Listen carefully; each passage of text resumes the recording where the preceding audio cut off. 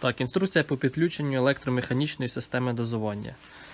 Ми маємо кабель живлення е, регулятора обертів насоса, сам регулятор обертів насоса, подовжувач, блок реле, електронасос, кінцевий вмикач і заглушка кінцевого вмикача.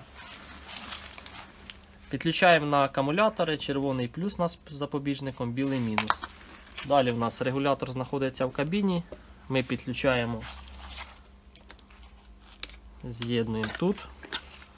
Далі в нас вихід насос 1, це в нас на подовжувач. Ось у нас подовжувач цей. Підключили. Далі цей подовжувач у нас на блок реле. Тут також є наклейка, фішка з надписом живлення насосів 12 вольт. В блоку реле ми підключаємо е, електричний насос, тут у нас наклейка насос 1. І підключаємо ми кінцевий вмикач, також є наклейка.